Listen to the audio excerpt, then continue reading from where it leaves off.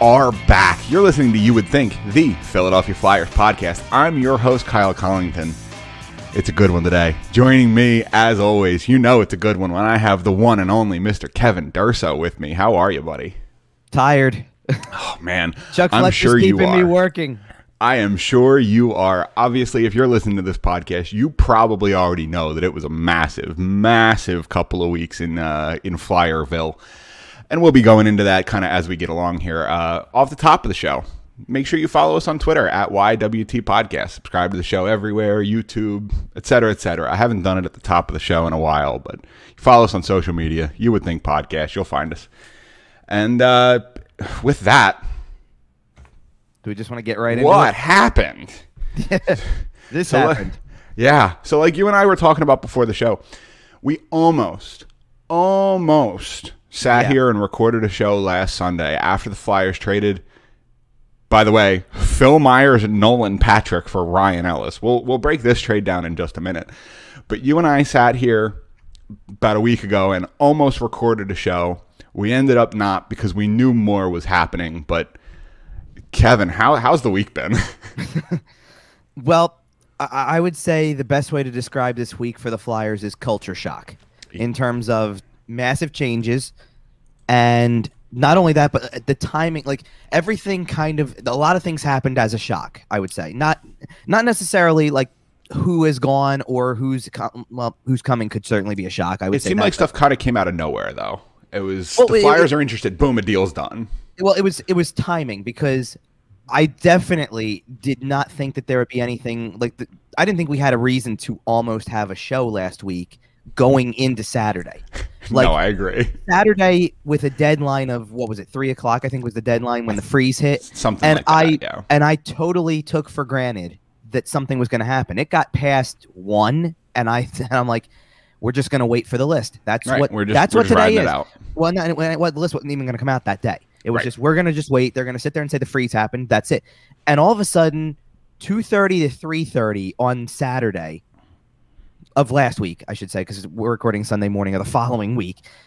So the previous Saturday, when the when the uh, roster freeze hit, turned into like trade deadline 2.0 and Sure after did. three and after three o'clock there were five trades that came out or something like that like post like post deadline as if you know like as if everybody as they do on the normal trade deadline goes we've got a half hour to go and we're calling and getting it into the league and no one's going to know about it until 3.30 4 o'clock maybe who knows like it could be an hour after this pause has technically taken effect and you're hearing about moves made all over the league and it wasn't just the flyers like No. I, and, and, and I said this on I said this on Open Ice Hits with Broads earlier in the week that sure there were a lot of trades made on Saturday. I think the Flyers probably made the most impactful in terms of the player coming in return. Like I think that was Sure. the most blockbuster trade when you look at everybody else who was on the move. I don't think that there was any other other player of that stature who moved teams as as Ryan Ellis is. So that was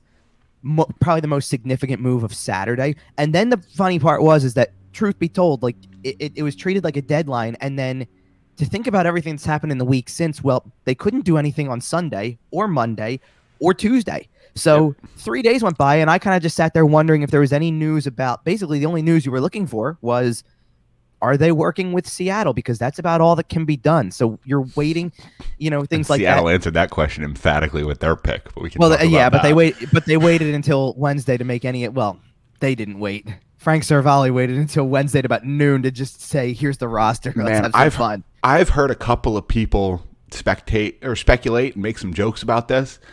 Man, who at the NHL or E ESPN slept with Frank Seravalli's wife? Because he went scorched earth on the roster leaks. Somebody, somebody turned around. One of the great tweets. I think I sent this in the group chat too. Was um, someone tweeted, "Someone now has to like to make up for it. Someone has to re- report early and leak what Seravalli's kids getting for Christmas on like Right, Christmas they- Eve." Right, they're gonna spoil his kid's Christmas gift. Right like spoil his kid's christmas because you spoiled the experience and man, it's not and, and and and look spoil in a joking earth. but spoil in a joking term he did his job is what happened i don't He know sure who deci- i don't know who decided it was a good idea Has an In- in- insider in, has an insider ever had a better day than Frank Seravalli had on Wednesday?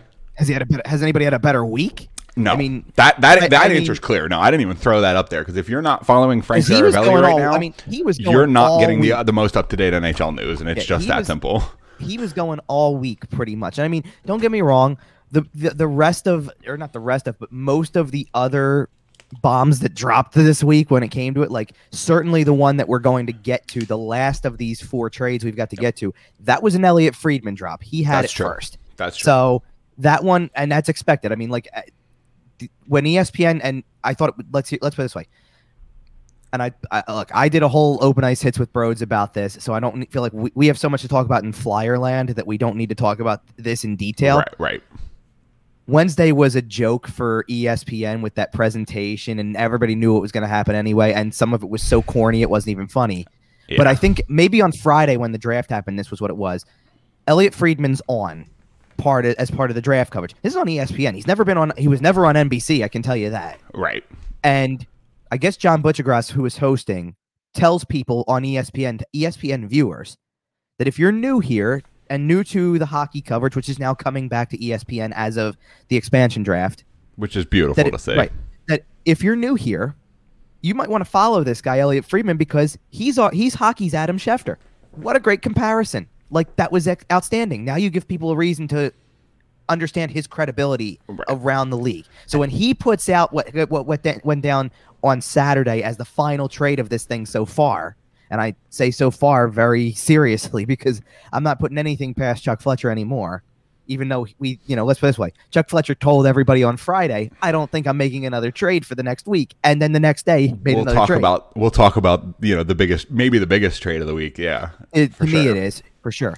I think I think you he- Mm-hmm. talked about culture change, and I think from a culture change perspective, it's the biggest change of the week. But we'll we'll get there as we Well, go. yes, but like the, the reason I called it culture shock is because I wasn't even home when the Ryan Ellis trade happened because Right. I went out on that Saturday thinking there's n- not no reason nothing's to, gonna like, happen. Like But, it's but I didn't even right. like, let's be fair. I also didn't leave until probably quarter of two. I'm not kidding. Like there's an hour left until the freeze happens anyway. So what I'm am I supposed to do? Right. but I'm sitting there looking and I'm sit- sitting there seeing what like as as about like lists are going to get submitted, all this stuff. Like people are talking about this, and I'm like, okay, you know what?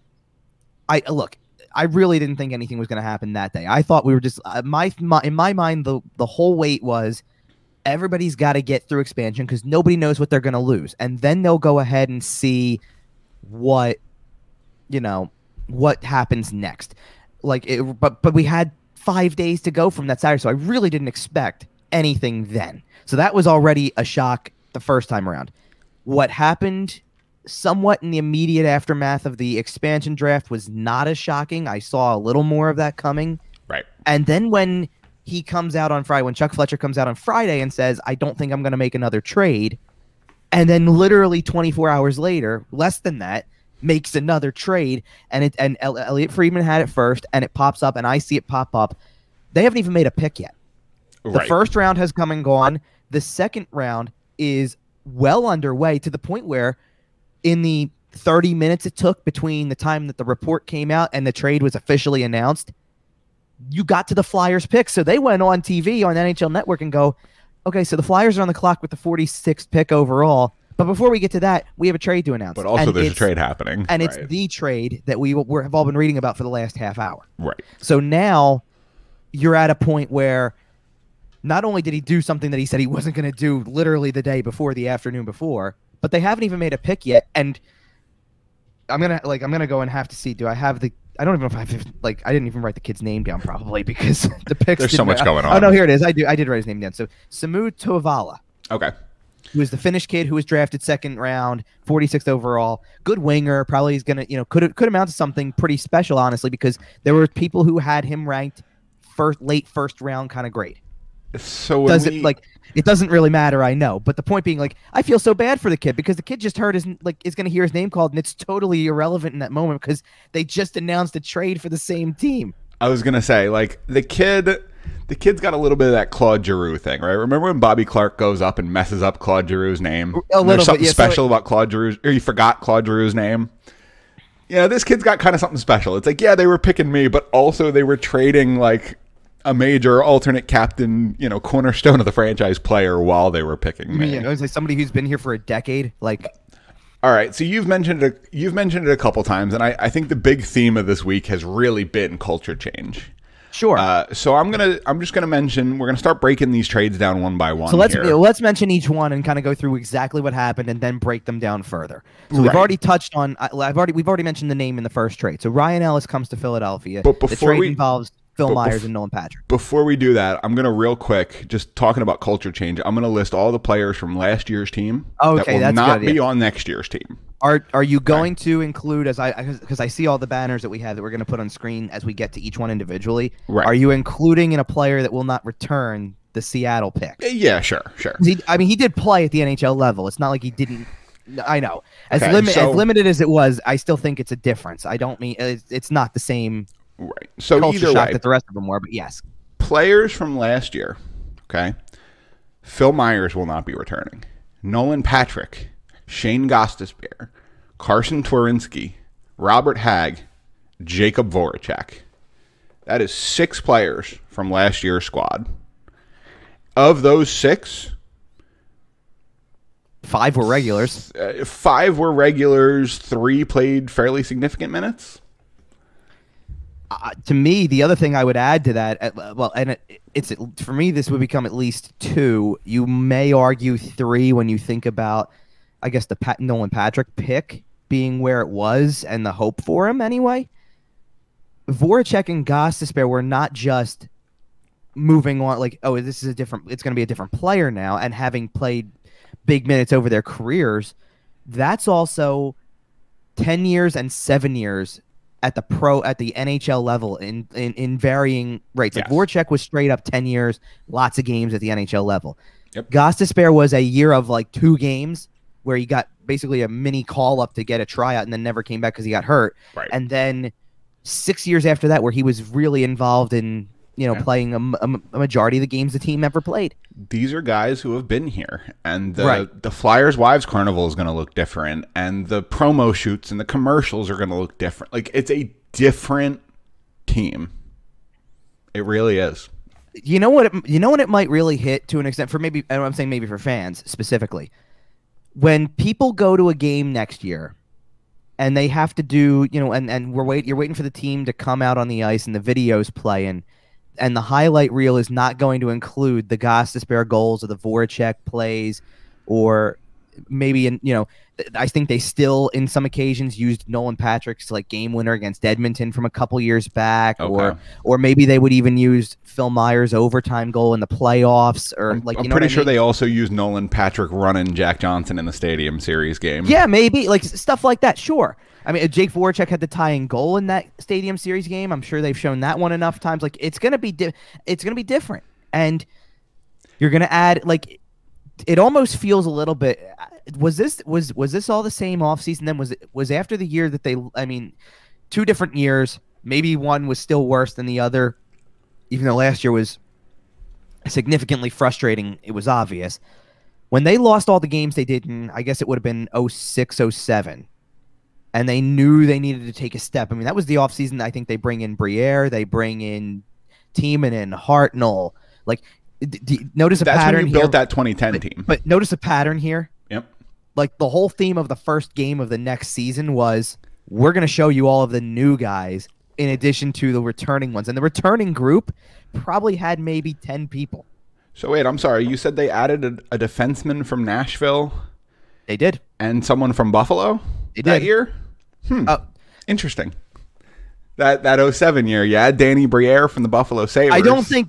Look, do I think that the Buffalo trade is going to be as impactful as Danny Briere? No, I do not. Oh, not no, but uh, listen, I'm drawing some parallels. All right, you're making No, moves with the I- you Buffalo know- Sabres no, and the? Nashville Let's- Predators. let's draw. Let's draw another parallel, if you will. This time around, they acquire a player from Columbus. This has no tie to the previous year we're referring to, but Danny Briere was not the tallest guy in the world. That's kind true. of one of these. Hey, look, I'm small. I can be fast. I can score goals. Does that sound like somebody that they may have just picked up it certainly you know, does. So you got one of those. You got a defenseman from Nashville, which the parallels there are just are ridiculously It's similar. insane. It's and insane. then and then you do make it like look, there was something else that I tie in, and maybe we'll tie it in later as we really break it all down. But every team they made a trade with is going to more than likely be in the bottom half of the league next year. They, they did not trade anything to any contenders. Right. And by the, and and for what it's worth, the reason why I'm saying that has nothing to do with the trades the Flyers made. It actually has to do with other things that those teams have done that make you go, "Huh."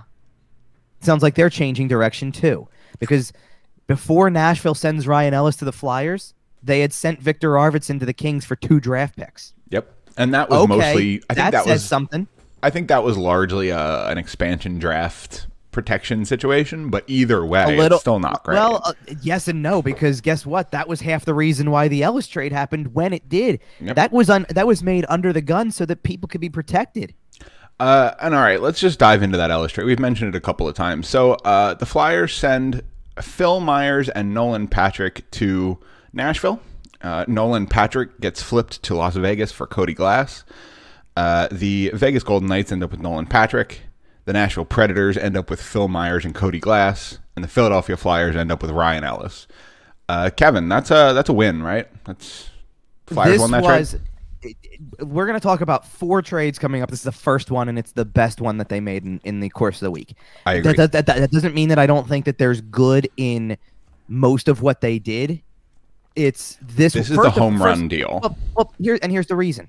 If you would have told me in an off season where they make four trades within a week, which by the way, when was the last time they made four? Anybody made four trades in a week at at this level? I mean, you don't see wheeling and dealing like this. No, no, know. this is wheeling and also dealing. Right. Yeah. Now, it, but if you would have told me the very first thing you do, and it's pre expansion draft, by the way. So before you even get to the expansion draft, which I thought was the marker for let's get started here with the offseason plans, like you're going to get to the expansion draft and you're going to basically, because it's expansion draft, the draft was over the weekend, the free agency period opened a week from then, and you probably in that time frame to kind of go along with exactly what's happened so far because it's this has all been done in seven to eight days. Yeah. This this honestly feels opi- like yeah. Chuck's playing NHL 21. He's like, all right, I got to make some trades. Which, which, by the way, totally discredits some of the stuff I've said before. Because I sit there and I try to tell people, don't act like you can do this like playing a video game, because it doesn't work that way. And, Chuck, goes, and Chuck hold Fletcher my beer. right, and Chuck Fletcher goes, just wait a second, let me just pop up franchise mode here, and I can just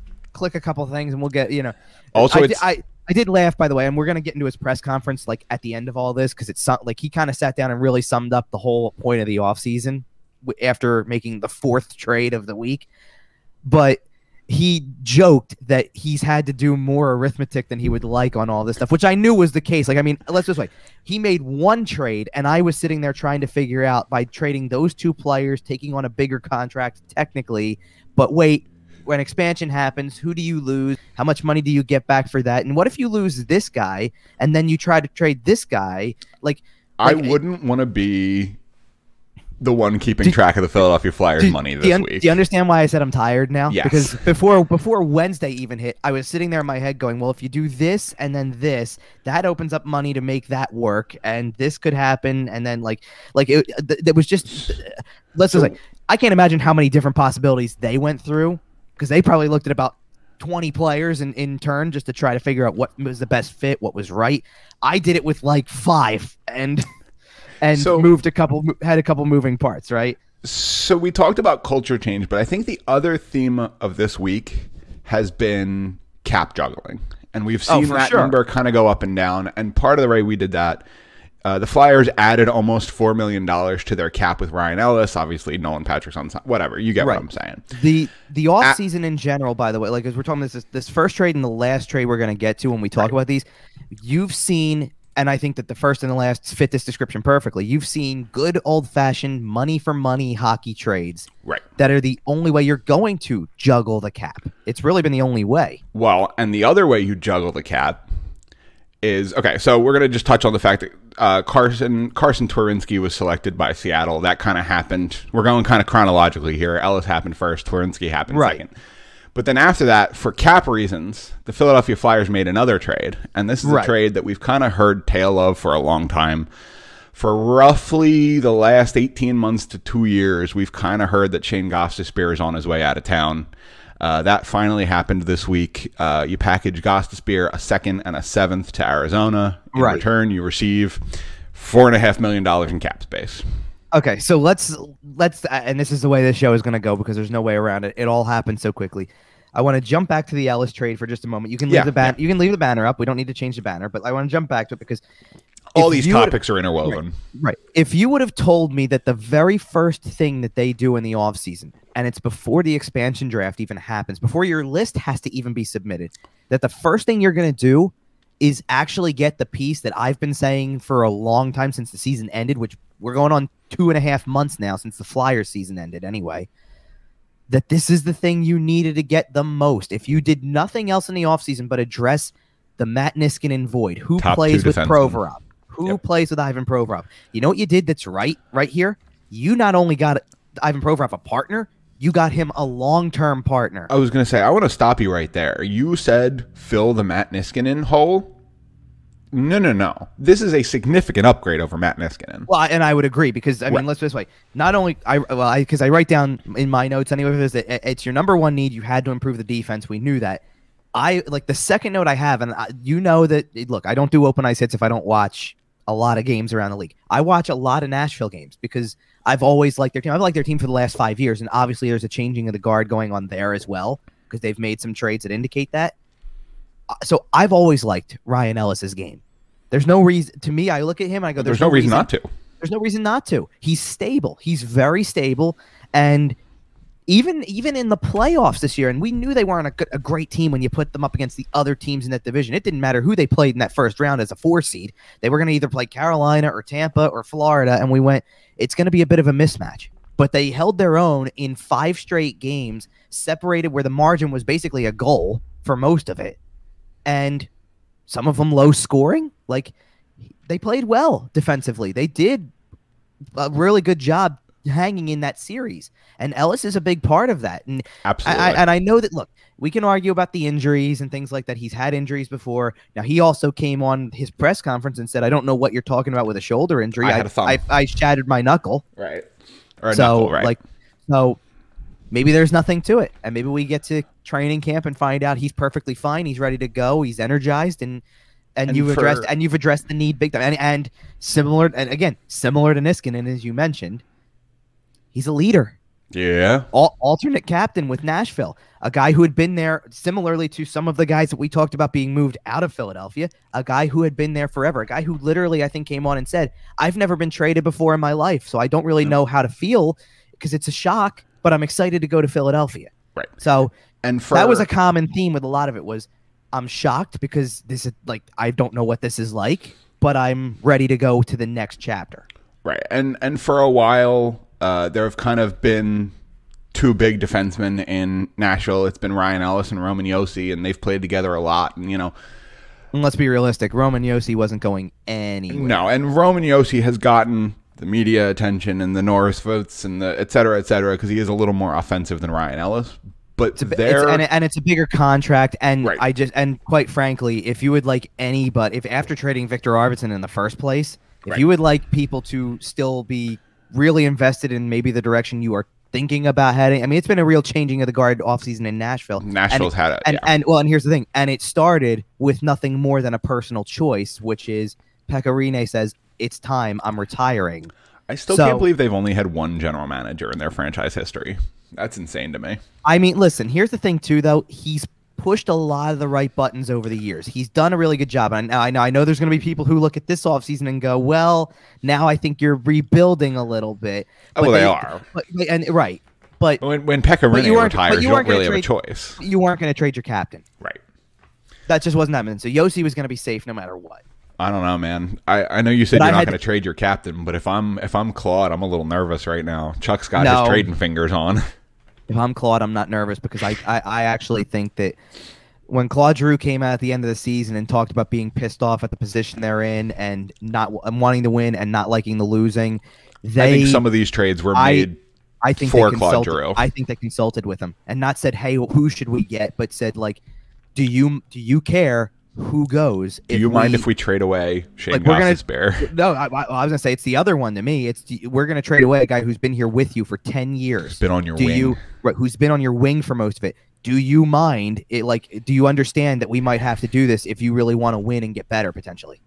Man, I you know the you said it a couple of minutes ago, and you're right. It really is sinking into me that the the pregame video packages, Yeah. the like the the hype videos. The it's it's gonna be weird. Right. So, either let me way, get back- so let me get back Yeah. to th- th- this trade for a minute because Yeah, of the fact that uh, we've talked about Ryan Ellis and the fit that he is. Let's talk the compensation for a moment because to me, it's not like this is what makes it a good deal. You're basically the, the the common theme that I got out of it was is that, and look, uh, Ryan Ellis and Phil Myers are not built the same way. They're not the same size defenseman. I get they're that not the same player. No, for but sure. but they're both right-handed shots. The the goal, I would say, with Phil Myers, similar to what Ryan Ellis is going to do, is you wanted Phil Myers to play the top pairing minutes potentially. You, Right. you, you took a leap of faith with him that he was going to continue to grow. He did not have a good year, and that's the not the end of that, but it's like okay.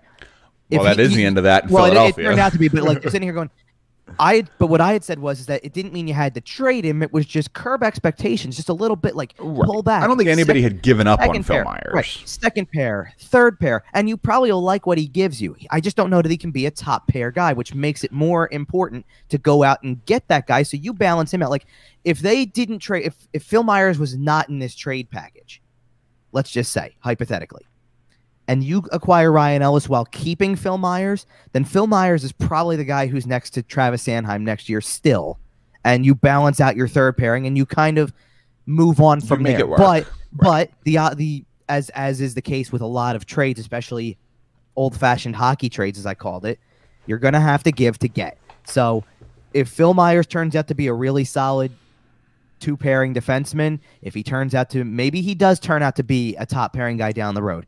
The problem is you don't know the answer. So Yeah. what did you do? You got something where you know the answer. Ryan Ellis has played in that role for years. So you go ahead and you say, I'm not only getting what I need, I'm getting him for the long haul. And oh, by the way, in, in in addition to having to give to get and say, well, I'm going to take the chance that Myers' potential doesn't match the stability that Ellis already brings. How about getting rid of a guy who has been in conversation for so long, who's been a polarizing figure because of where he was drafted and then the results that have followed since. And you move on from Nolan Patrick, which I thought the writing was on the wall with this. And not only that, because it's always been about it's it's the combination of expectation and experimenting with where he could fit versus his health versus the inconsistencies in his game. And look, he's going to a team that knows him well. I right. mean, the GM there the was his GM GM there in is- juniors. is is it couldn't be a more perfect fit for him. Right. Kelly if McCrimmon was his GM and, and quite frankly, Brandon. and quite frankly, maybe the actual analysis of this trade or of Nolan Patrick going from Nashville to Vegas after going in this trade for Ellis is if you if you don't find a way to turn it around there, you're never gonna make it. Right. Well, here's here's the thing about that trade is because it was technically a three-way trade. I think it has the potential to be one of those rare three-way trades where everyone's happy. Because Yeah, I maybe. think Nolan Patrick could easily develop, especially in a system where his path to number one center is clear. Right? He's got a better pedigree than Chandler Stephenson. If he lives up to his hype, if he lives up to the potential that got him drafted number two overall, kind of the consensus number one for 12 months before Right. his draft, if that Nolan Patrick comes back, Vegas has a damn good, you know, first, second line center Well- down the road. Well, and let's put it this way: what have I always said about Nolan Patrick too, to an extent too, is w- what happens when you go from being told for your entire life you're outstanding, you're above the level You're the best, you're the playing, at, best, you're the best. Right. and then you get drafted second overall, which is still not a knock on you, but the exp- you're going to Unless you're Mitch Marner's dad, but but you're going to a city that's going to look at second overall pick and think Patrik Laine, Jack Eichel right, Right. away. Especially and especially since you're literally following up those years. I mean, it was literally right after that. So people were thinking, that's who is that the type of player that they just got, and it never came close Nope. to that level. So because of showed that, flashes. you know, oh, certainly. It, it was the lack of consistency, the lack of staying healthy, and overall just what's the guy's fit? Like there was, Yep. we just questioned it too much, and it just you know, here's okay. We Right, said and you're looking we- no, and you're looking at your said roster and you're going Right. Couturier, Hayes is making seven. Where does Nolan Patrick fit? And not only that, but okay, like common theme coming up as well. We've been talking culture shock. We've been talking about making changes and changing kind of the way the room is and all that stuff like that. a common theme also is, is that you sit there and you go, it was time. You know, and you're going to hear agree. that more often as we talk about other moves that are made. But you look at this and you go, you know what? It was just time. I don't know if you could. All you were going to do if you brought him back, and it was funny because, like, I think a week before the trade happened, uh, Chuck Fletcher had said, we're going to qualify all of the RFA's offers at least. You know what I mean? Why not? But- right. Right. So like it wasn't but it wasn't the most shocking thing. And like you just got this sense it's time. If you what are you gonna do? You're gonna just keep moving this down the line and continue to do one year qualifying offer, one year qualifying offer, and oh, oh maybe he'll turn it around then. Oh maybe it'll be next year. Maybe like, like what But are you what if he doesn't? Right. At what What point you do you lock him to up for three or Are- four years at two well- million dollars? Well, no, You I'll tell you. I'll tell you when it happens. It's when he's no longer an RFA. Like right now, because he's an RFA, you kind of could have sat there and said, "We'll do next year," and then if he's still in, when he's still an RFA, maybe the year after that, and then until you use up all of his RFA years and finally go, "All right," and then maybe you lose like, for nothing. but but how much? But how many more years are you supposed to do? Are you supposed to kick this down the line for two more years and two more seasons and say, "Well, by the fourth season, well, and last We season was hope he's technically figured it out by the time he's 25. Right, And last season was technically his fourth season, if we will, because he's he missed his third season entirely. So Right. what are you supposed to do? Say the fifth season, the sixth season is when he finally puts it all. To, like you just can't wait any longer. You needed a better team, and you needed a change. And this was a change that was, quite frankly, on the smaller level. He was almost like a throw into this deal because Nashville turned around and said, "Wait, can we use him to get something else from Right. And Vegas?" then you, they flipped him straight They for Cody flipped him. Glass, another high draft pick who has kind of uh, Not panned not out quite yet. lived up to expectations. Right. So, I, like I said, this has potential to be a really good trade because again, Nolan Patrick gets that change of scenery, and Right. he also gets to go play under uh, Kelly McCrimmon, who he played for in Brandon. Uh, Right. I- Nashville. I, I, I think that because for people who say are gonna or are gonna talk about the potential and what happens if that this guy becomes or that guy becomes, it, it's more possible with Myers than it is Patrick and my I don't necessarily agree with that.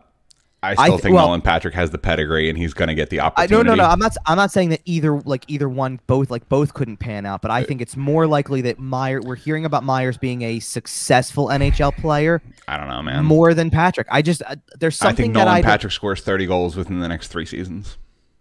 my thing my you know what my thing with him is is though honestly and it, it's not it's not that i don't think he could pan out in vegas because if he's going to do it there like if he's going to do it anywhere it's going to be there Yeah. it's my question is not even that he lives up to any potential it's i don't even know if he's going to stay healthy enough throughout the course of his time before someone turns around and goes he's just damaged goods and the career's almost over Well, and we talked about it I, look, I, and I don't look. I hope that that's not the case. I don't want to wish that someone's career ends on anybody. I just, we- I have my doubts with that one. Well, we talked about it while he was here. It's not a knee that's going to nag him forever. It's not a back. It's not a blah, blah, blah. It's a genetic migraine disorder that may or may not have been triggered by concussions. That part's whatever. But in theory, once you kind of get that thing under control, you can keep it under control. And it, again, he didn't have any too many problems this year. Again, he didn't look good on the ice. But as far as the health was uh, a concern, it wasn't really a concern this year, right? yes and no because now he turned around. I mean, I don't know if you saw his availability when he went once he got to Vegas. Or, I did not. or is- he brought up he didn't say migraines last for last year. He said concussion. So I don't know what the truth is anymore. You know, like we're like there's almost wonders if the team covered up the. I kind of like, have to trust the player symptoms. on this one. Yeah. But but but no, but like as as in the team did the player a favor in terms of covering up that it wasn't a concussion, or that it was a concussion by saying it was something else, Right. or or or concussion symptoms, if you will, or whatever. Like I, he they tried to make it sound like it because oh they've got a family history of this, that's what he's experiencing, and it's just a problem. When reality might be that it had to do with the concussions from over Mhm. the years, and he was Maybe. still battling. So, uh, maybe I don't know. I'm not. I'm not going to go into it with that. He's I don't not, know if we're ever going to know for sure. He's, and he's not a flyer anymore, so it's not Right. a concern uh, like to the flyer specifically. But whatever, it doesn't make it like I'm not saying whatever it doesn't make a difference. But it's like he's he's gonna move on, and we'll see what happens. He's Yep. got it. He could he could completely a thousand percent pan out and become a really good player, no doubt about it. So you just he- know, you just know if the Flyers make a run this year. And again, we're we're way too early, and you know the team we saw last year, Right. certainly not. Blah blah blah. But if they make a run this year, you know who's waiting for him in the final, and it's absolutely Vegas and Nolan Patrick, one hundred percent. You're are you only saying this? And, and look, I get it because it would be Because I've been a Flyers fan for too long. No, no, but are you also only saying this because if you like, you could pick any of the other teams they traded with too, but at the same time, you're going to sit there and go like reading between the lines that none of those teams, because of what they've done, are probably going to be there. So you're Well, picking let's the talk team. about the trade. We got the graphic on the screen. I mean, Well, it- I'm real not worried quick- about the okay. Arizona Coyotes being right, there. right. Well, now, hold on a second, because and I'm tie. I will tie it into the one that's on the screen. So real quick, I'm going to go back to Twarynski and the Seattle expansion for a moment because this trade to me only happens because of what happened with on Wednesday with expansion. Because because if if Seattle does what everybody thought they were going to do, Take JVR well, no, one way or another, then, which or is Voracek. which is pick a big contract or not take a big contract, but at least take a player who is on the current roster, like like a Robert Hagg. Right. Then, so, then at least we knew, like we we felt like there was going to be a player who is on this current roster, not necessarily Carsen Twarynski, who was going to go as part Have of expansion. Yep. and and it was going to be around that process. And we thought a bunch of different combinations. We thought maybe they just say we're a brand new team with no cap. Let's get Shayne Gostisbehere because he's only four and a half million which in the grand scheme of things may not be that much when you when we look at other players we might pick I, right, Fair. and I think JVR was another pretty popular pick because he offers he was some, but, some but seven million's a big difference but, but seven million's a big difference between four and a half like I kind of. I I tried to stay Seattle's conservative got thirty million dollars in space. after everything I know Right. trying to It's not. It's not like they were Okay, that's close. because Se- that's because Seattle did something that I don't think anybody saw coming, which was passed on like every big name that was they out went there. Like, young and cheap, like- and yeah. like, eh, like here's the thing. I know that everybody, the re- initial reaction to Seattle taking Carsen Twarynski is what? Like, are you kidding? Here's the thing: if Seattle takes Carsen Twarynski from the Flyers, but also in turn took Gabe Landeskog from Colorado or took Carey Price from Montreal and puts that kind of money into that kind of player who's going to be make a part lot of more your sense. Right. Like then you understand why they're going to lowball another team and go, "We're taking one of the lowest contracts you have because You we can't need to take, fill a you can't take seven big contracts. right." Right. Like, but you can take two or three to build your team around. So And I could have seen, they took like- one. like, I could have seen them taking, and I don't know, like, was there another good defenseman out there beyond that? Like, I like, well, kind of they did in a way because they took free agents like that. Like they took Right. Adam Larsson, so that's not a shock. But like, could you imagine if they would have taken? Gabe Landeskog, and then said, "You know what? We can get an in, in addition to him playing center, we can go behind him and get Ryan Johansen from Nashville and get a, and get even if and maybe not Carey Price, but what about Braden Holtby in goal and build the team around three or four really good, solid, like big con- bigger contracts, but, but players that have a reputation, Right. and then for the rest of it, go. You know what we need outside of that? We need guys like Mason Appleton and Colin Blackwell to fill this thing out and be the depth guys, and they're not going to cost a lot of money, and they're going to be good. They can be good players for us, and it would have made all the sense in the world if they would have done that. I would have said this team's a playoff team, but they're not a Right. playoff team right now based on what I see. They're not a playoff team right now. No. Well, they only have nine forwards right now, so they're definitely not a playoff team at the moment. th- they don't, but I get where you're going. So, bottom line though being, the thought was maybe like I thought worst case scenario, the the best thing that could happen was all right, they just take Shayne Gostisbehere. And if they take Shayne Gostisbehere, you get the four and a half million in cap space. It's not the seven million that JVR makes. It's not the eight point two five million that Jake Voracek makes, but it's something. And it's a starting. And maybe, you know, and if and and and I said worst case scenario because of the fact that at worst, it's Gostisbehere and it's just the pick. As in, you didn't have to sweeten the deal, you didn't have to make a side deal. You just got rid of he a just takes your for he- yep. for a substantial enough cap hit that you now actually still have the flexibility to play with what was still on the table through last Saturday, through the expansion draft, through Thursday even. The first over or first overall, first round pick is still on the table at that point, and you're still sitting there with it. And if they take Shayne Gostisbehere and the four and a half million dollar cap it, and you open up money, now you might sit there and take one of the other guys and go, by the way, here's that first round pick as well, because Right. because for me it was and and we knew about this being a possibility for over a week leading up to the, where the Ellis trade happened. And so after the Ellis trade, I even said I'd be shocked if he keeps the pick. There's just no way. He's he's dangling it too much. Right. He's not he, he's not interested in making this pick with what he could possibly do with the pick to get something back in return. Okay, with what he could possibly do. So Goss Gostisbehere to me after expansion though, because you knew you needed money, was as good as gone. I just could like I couldn't bring myself. Every other player that they had passed on, of the five that were out there that you that would have made the most sense in my mind, I, I look, I go, Jake Voracek. We know the conversations happened to this point that it might, like, he might be moved, but there's never guarantees. If and if he comes back, I understand his cap hit. Right, everybody doesn't like the cap hit, but you but you know what you're going to get. You're going to get 55 to 65 points probably in a full 82 game season because minimum. that's what he is. He's Yeah, been that for his get 50 entire career, and he's gonna right. You're gonna get a lot of assists, and you're gonna get a decent amount of points. Uh, And even if not 55 to be conservative, say 50. He's Right. usually done that.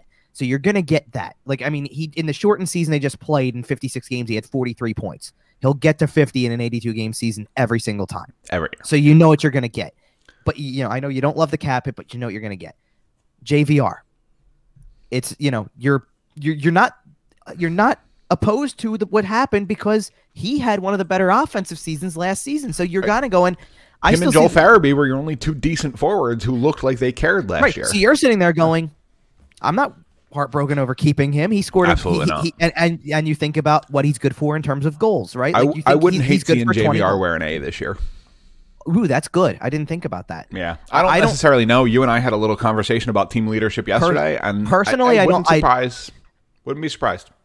Personally, I don't think he. I don't think it's going to happen. Personally, I- I, I don't, don't think he's going to get. I think a new guy is going to get the other alternate just because. And, and like like I said, we'll get into it in a couple minutes because we're going to get to when what Chuck first Fletcher round said pick after all this. did get traded.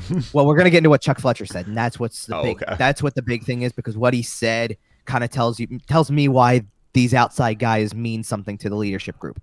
All right, But but but everything else leading up to so even Robert Hagg and Justin Braun, I went. They've got roles. Everybody's got a, a spot that I can understand how they still fit on the team. I just don't know. Like Gostisbehere could have been a third pairing defenseman and power play specialist, and I would have understand the fit from a usage standpoint. I just didn't understand the fit from a cap standpoint anymore. It was like Right.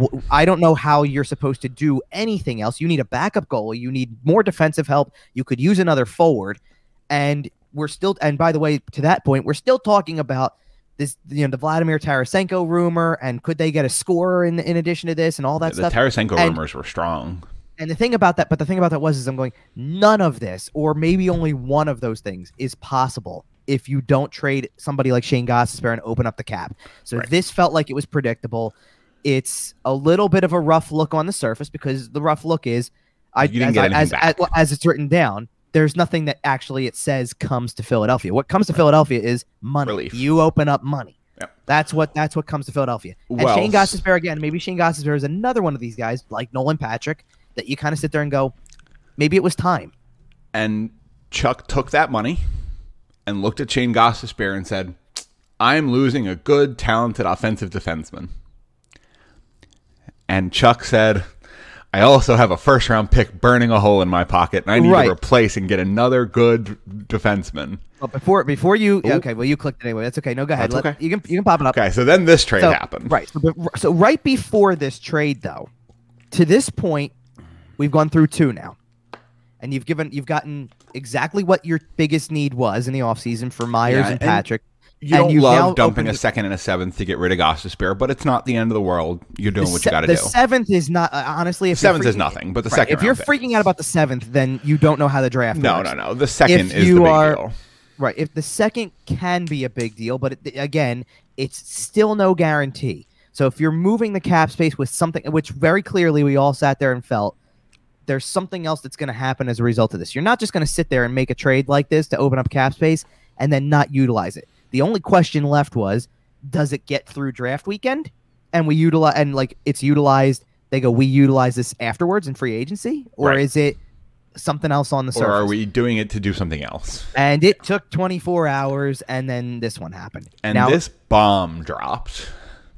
okay, So, So let's- the, let- the, the trade on the board here. It's uh, Rasmus Ristolainen was sent to the Philadelphia Flyers, and in in return, uh, no retention on that, by the way. One year left, making I believe five point four million. yes, And in return, the Philadelphia Flyers sent Robert Hagg, the 13th overall pick in the 2021 NHL draft, and a second round pick in the 2023 draft. Now, yes, if you've been following the last two trades, yes, that is next year's second round pick and 2023's second round pick out the window.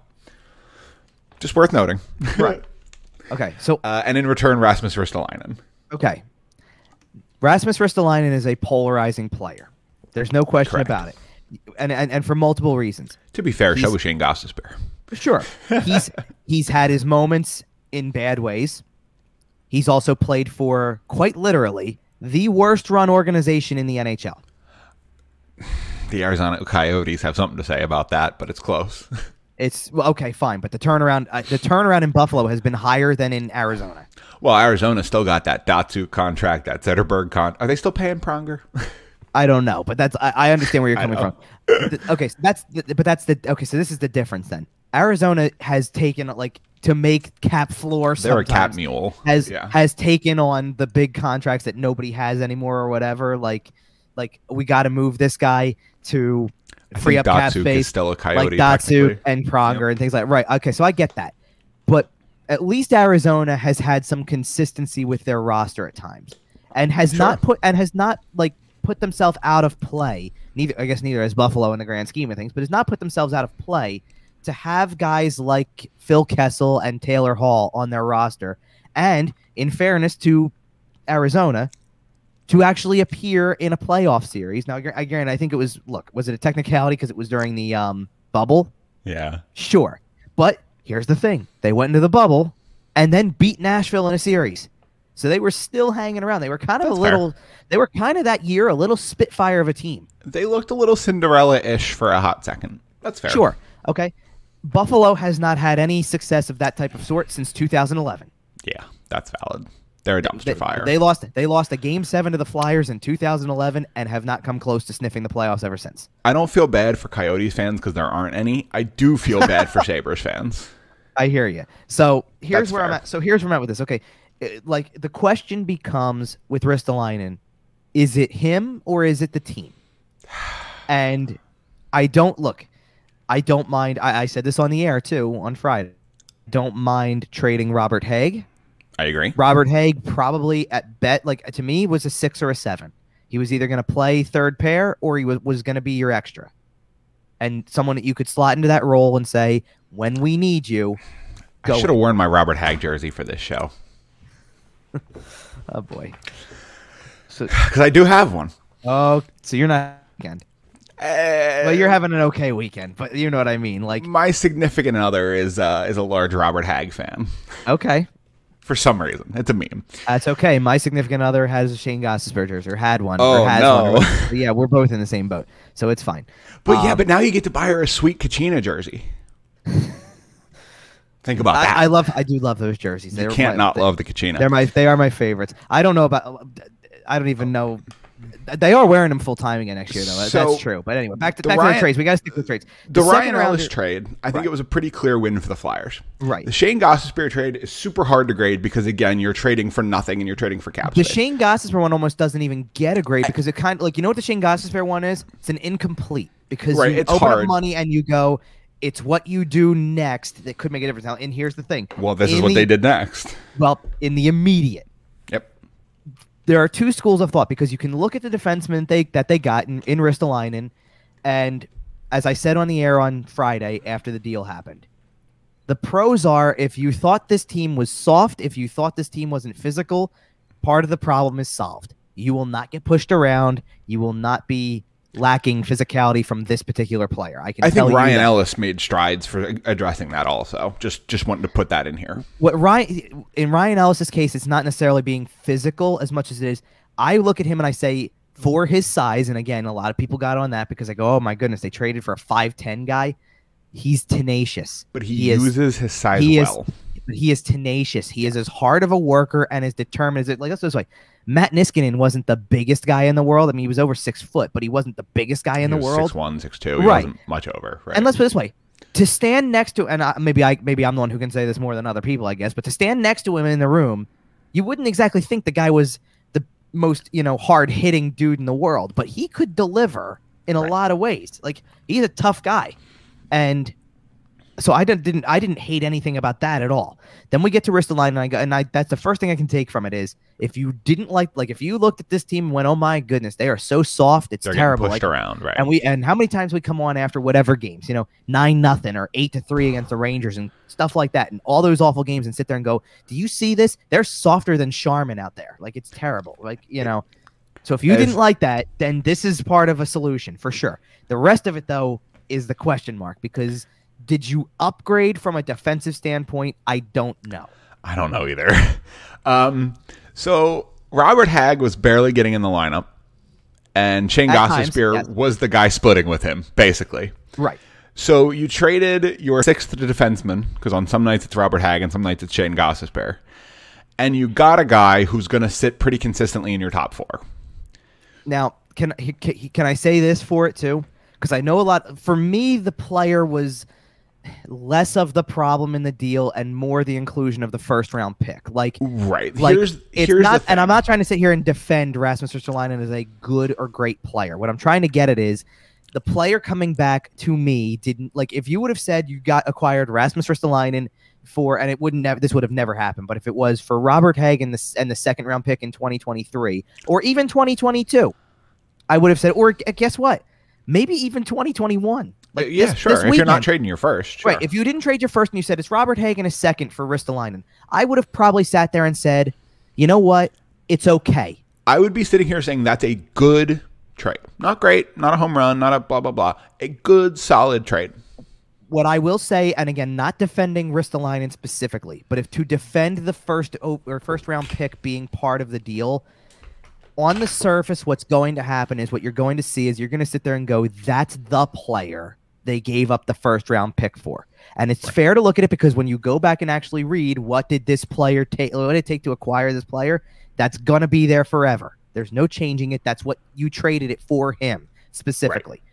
If I tried what I'm trying to do is separate from it and go, look at the collective picture and and say, so if you traded Phil Myers, Nolan Patrick, Gostisbehere, 2022 second, 2022 seventh, Robert Hagg, 2021 first, 2023 second, And for the record, that If player I- is Isak Rosén, right. player drafted at 14.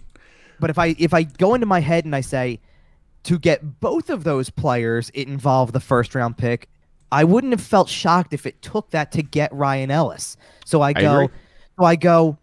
If you traded the first and act like realistically what the gain was was Ryan Ellis, then maybe you can live with it a little more. Now, granted, I don't know if like that's all I'm saying. Like If okay, like and like I said, it's not going to be viewed that way because when you go look up the specific trade, that's what's in the trade. when you look at the offseason in an aggregate, I Right. think the Chuck has done a good job and the Flyers have done a good job of making their team better. I think you slam dunk won the Ellis deal. Again, the Gostisbehere trade is is an incomplete. It's weird. I think you lost this trade. I think including the first round pick and I think it's even much closer. Ristolainen has one year left. It's even Right. much closer if you get Buffalo to eat half his cap hit this year. Because then instead of making 5.4, he's making 2.7, and you can spend that extra 2.7 on a third line center or your, no, you know what that is? That's partial. It's it, to me that 2.7 goes to your goalies. It's part the Carter Hart deal and it's the wherever it goes. Right. But as it sits now, you spent your first round pick to On also $5.4 spend million dollar to cap. also spend more than five million dollars on a player who may or may not even be good. And people think he's good, and you see, and people go, "Oh, well, he's been on the Sabres. What if that's holding him back? What if he's really better than that?" I don't know the advanced stats well enough to know, but I have heard advanced stats people talking about the fact that Rasmus Ristolainen was the anchor, right? That he was the re- part of the The reason. they were dragging along Right. behind I- the boat, right? I saw a stat, and it was something along the lines. Please do not quote me. Uh, when Rasmus Ristolainen's on the ice, Jack Eichel's expected goals is somewhere in the neighborhood of forty six percent. When Rasmus Ristolainen is off the ice, Jack Ed, uh, Jack Eichel's uh, expected goals goes up to fifty five percent. And that's since Jack Eichel has been drafted, since they've both been there. And if that's that's the part I'm worried about. I'm not saying that Rasmus Ristolainen is going to be a black hole on defense and that he's, you know, Andrew MacDonald 2.0. Although I am concerned, by the way, because it's fair to be con- it's fair to be concerned. right because it's also it's prime prime for the bad AMAC extension, Sure. and you know Okay. it. All right, so here's let's let's try to dissect this a little further Okay. before before we almost an hour into the show get to the really big one that And we need to get whew, to. we do. Okay, here's here's where I'm at with this. So, because like I said, on the surface, this is not a great trade. Right. The price is high because of the first rounder. The cap didn't make sense either because the two things that I kept coming away from that I didn't like about this trade were this is not who I trade the first round pick for, and so you made the trade for Bear with the two picks to get rid of him to open up four and a half million dollars in cap, and the very next day you made a trade that sent your first rounder out to bring in five point four million dollars of cap. So you mentioned that so, if if you look at the this pit trade and the Ellis trade, they kind of even out to the point where you're kind of okay with the first round being involved. If you combine this with the Shayne Gostisbehere trade, you traded Robert Hagg, Shayne Gostisbehere, a first, two seconds, and a seventh for Rasmus Ristolainen. Right. See, and that's okay. And and again, like it, it, perception is going to be important here because of the fact that if you just looked at that and said that these two moves are linked, and as a result of them being linked, it means that you, you are getting six assets. You gave up six assets, including two current players and a first round pick for and a four defenseman, picks total, right? But For a defenseman who, for one, makes close to what the other two did because you take the 4.5 and the 1.6 from the two players we're talking. It's what six million dollars, six point one, and he makes five point four. So I, I have a question. Okay. Remember when the Flyers weren't willing to spend a large sum to acquire Seth Jones because they weren't sure if he was going to resign here? Right. You spent your first round pick on Rasmus Ristolainen. Are you expecting him to resign here? Because he's making 5.4. Ah, man, I don't know. I'm nervous. I'm nervous about not only him There's, being on okay, the team. Hang on. Because I think it's fine, but right, he's going to be a fine player not, on the team. I'm going to try to talk you off the ledge. I'm nervous about and, the future and, here. hold on. I'm going to talk you off the ledge a little bit. And again, it's not to defend the player. Right. I don't, what I don't think was going to happen was in hindsight, now that we know more that followed this trade as well, you make this, you made this trade because you knew that Travis Sanheim needed a partner. I think it was very clear. Hold on. It was very clear you did not want that partner to be Justin Braun. You wanted Justin Braun to play Fair. somewhat a somewhat sheltered role and to at this point based on everything that we know because let's face it, you're down 3 defensemen from the previous roster. You've brought in 2, so you've replaced, but you're down 3 defensemen from the previous roster. You know who the third guy is who's replacing them? It's Cam York, more than likely. So what you wanted was for Cam York to slot in to a spot where his minutes can be managed and you put him alongside of I'm just taking a guess. I don't know. He's because Braun's 34. So what? A you think it's 12 to 13 year veteran in the league? So who do you think is the seventh then? You think it's a guy like Zamula? Sam Morin. Sam Morin?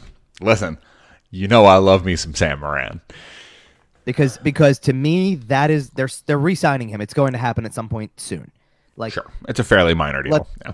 It will be, and let's put it this way: I'm I'm willing to because he's because he's within the Flyers, so they don't have to wait for anything.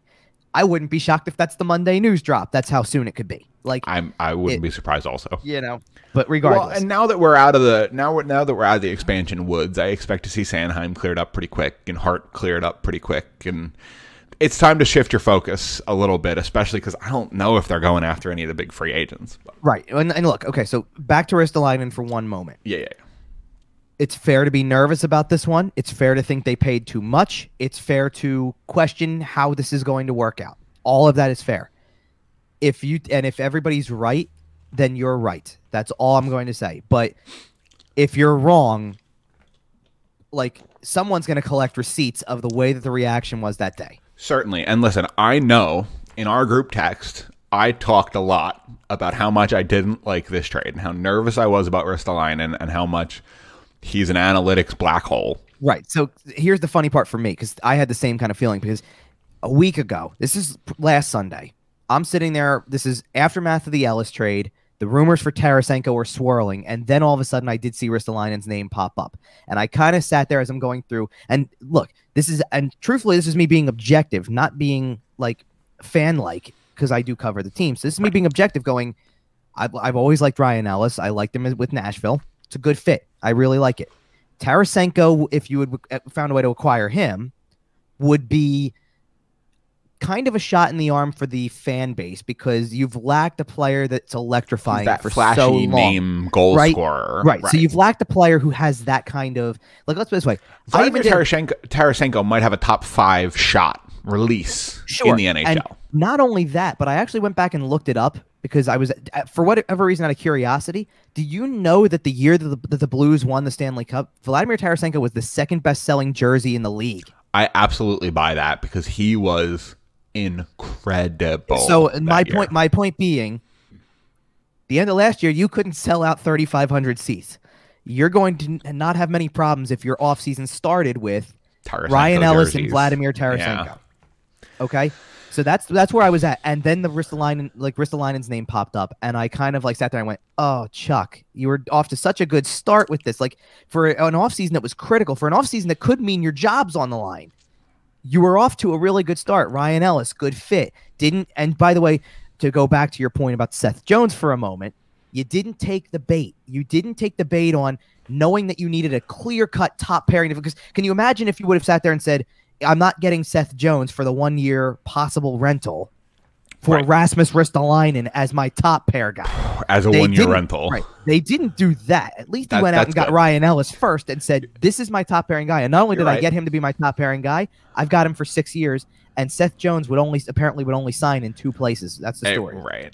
So, So, so if Seth Jones wasn't going to sign, and then by the way, signed for eight years and nine and a half nine and a half per, per. No, thank you. I'll take. I will take Ryan Ellis and the three point two five million dollars of cap savings for the next six years. Thank you very much. All right. So all show, we've been talking about the team, the culture, the salary cap. There's one move left, and it really sums up all of that, right? You save a little cap room. You make a massive, massive, massive, massive culture change. And you send Jake Voracek to the Columbus Blue Jackets in exchange one for one hockey trade with Cam Atkinson. Kevin, give me your thoughts here. Cam Okay. Atkinson. This was really an old fashioned hockey trade because this was just straight up one for one. Let's Did, you did know let's somebody make tweet out the trade is one for one? Oh, yeah. somebody had to. that uh, a lot of them did. Here, and here's the thing: the trade being one for one, I spent five to ten minutes until it was actually out there, not convinced that there still wasn't salary retained in this good old fashioned hockey trade. Or a pick one, or something, One for one was fine, but I'm sitting there going, they had to eat salary, right? They had to. And the fact that they didn't is the biggest win of the deal. So let's, it absolutely is. It was the most important part of the trade. because No you matter get look, you get that Jake Voracek eight point three right. cap hit and this is the thing: off whether whether you think Jake Voracek is a better player than Cam Atkinson or not, the the cap relief here was massive, and just because uh, let's put it this way, from my own perspective, I, I if I'm on the if I'm on 97.3 on Monday, which I kind of expect to be because this was this is the trade. It- I'm right. going to sit there and probably express how happy I am that I will not have to answer another question about whether or not they have the ability to trade Jake Voracek's contract. right. It's been done. Now, here's the thing. I, I'm I, again, we're jumping around a little. sure. Back to Ristolainen for a moment because once they made that deal, I thought this was impossible. Really, I just I, I thought there's no way and and that was what was so like that was what was so mind mind boggling about the Ristolainen trade was you just made a trade taking a gamble on a defenseman who's struggled his entire career but he's played for Buffalo. So you're basically trying to figure out in the next year is it Buffalo Does or is suck it him? or is it Buffalo? Right. Right. is it Buffalo or is it him? And you're taking the gamble that it's not him. You're praying and- it's him. Right. it's not him. and then not only that, but here's the thing. This is another thing that's going to go into play with, like you said, the contract extension if they were to do it. Is let's say because the good news is they are not giving him a contract extension during the rest of the offseason. They are going to let. Did they say that? He said we've got to Okay. see how things play out. Fantastic. Perfect. At least that's his words. Now listen, I I'm hope that's not. Let's see what free agents I can sign, and if we can't sign any, then I'll give him the extension. I don't see it because I don't think you're getting a hu- like. I think they know they're not getting anything huge in free agency. Like, like. I, I and I believe I'm, if I'm I'm taking a guess. I hope I'm right. I don't remember off the top of my head. I think it was Charlie O'Connor's question during the press conference where he he asked about is there still a way you see possibly more franchise altering moves because everything they've done to this point has been kind of franchise been altering. foundational. right, like you're shaking the core here. Yeah. Um, Un- unless you trade Ivan Provorov, Claude Giroux, or Sean Couturier, and I don't think any of the three are going anywhere. no, It's hard to make a bigger move than the things you've done. Right. So he asks that question, and Chuck kind of laughed and like because he cause and kind of goes, I don't know about franchise altering per se. Like like in terms of like I don't have that much you know leverage He here. doesn't have that much make- wiggle room left. Right, like I don't have that. Like, well, not only that, but I'm sure his head hurts just about as much as the rest of us with trying to figure out how do you add it all up that these guys fit. A 5.4 million dollar contract. There's a 5.8 million dollar contract, near 5.9 in there. There's a 6.25 million dollar contract. So in other words, think about this. In the three players you've acquired, you added something uh, in the in the range of like 17 to 18 million dollars in cap space. But that means you also got rid of probably about I I, don't I don't same. have the well, it's got to be close. I mean, Ghost like, was four and a half. Jake was almost eight and a half. That's thirteen right there. Robert Hagg was 1.6. Myers was um Two- Myers two Myers was 2.5. I think I thought it was two two five. No, two. It was like 2.55. Oh, was it? Oh, Yeah. yeah. So you're looking at you're looking at about the same. They're in roughly kind of the same cap spot they were before. Uh, like we talked about a couple of weeks ago. Obviously, they still do have to sign. Um,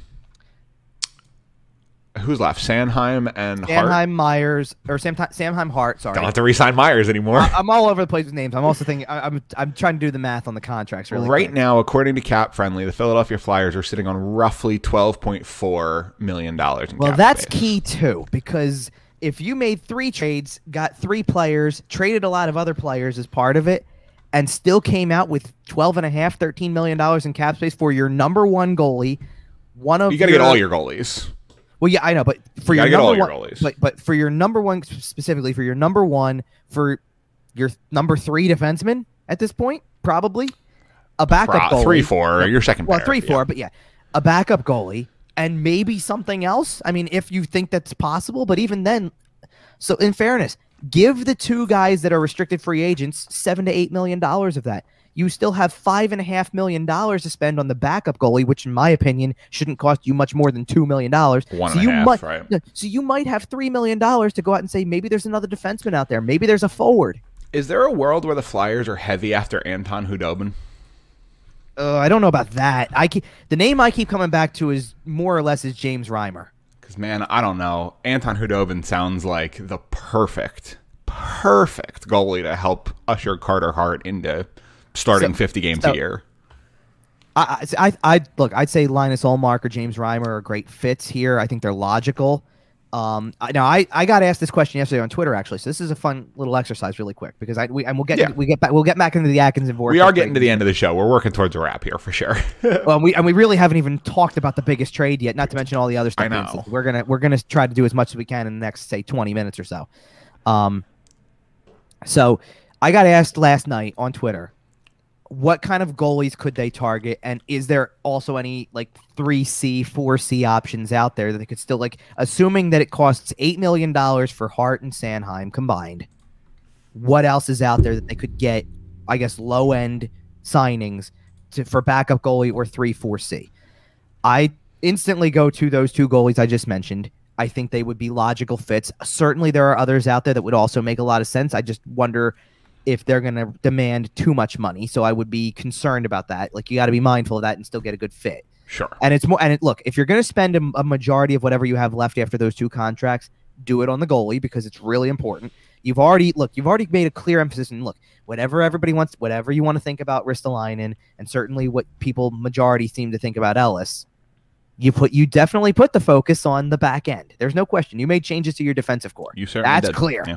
So you very clearly said we're putting better people or what we think are better people in front of our goaltenders. Okay. So in that case, you need to make sure your goalies are right. There is no doubt in my mind, and Fletcher seemed to say so, that Carter Hart is the guy now. He's the guy moving forward. There is no change there. There is no lack of confidence in him. So what you all you try to do is give him more support. Whether whether Ristolainen does it or not is a gamble. Ellis will do it for sure. I have no doubt in my mind that Ellis will. Then you're also taking a chance, but you need to have another guy. And, and Fletcher said, actually didn't say it on the press conference, he did it on NHL Network during the draft. He envisions at least kind of a 50 30 split in goalies, just given the way the schedules look. Okay. So if you need a guy who's going to start for 30 games, he's going to have to be good. It's n- and let's put it this way: if you need any indication, he got asked on the broadcast about Brian Elliott specifically, and then and then he never mentioned Elliott's name. I would say Brian Elliott is is good as gone Probably done here. Yeah. because I think what you're thinking here is I need a guy who can, if necessary, start three or four games in a row in place of Carter Hart in the event of anything, a You slump, have to have somebody an reliable. injury, there. anything. And I don't look. I think it's going to be hard to find a goalie because I uh, look. People will sit there and go, "Well, Ullmark was hurt for a decent chunk of last year. Reimer's had injuries. There's people out there, but there's people out there that are vying for Jonathan Bernier, and I feel the same way about Bernier. You know what it is? I don't think you're going to find a goalie who hasn't gone through something. They get hurt because it's a physically demanding position, so Turns they out get playing hurt 60 minutes a night is tough.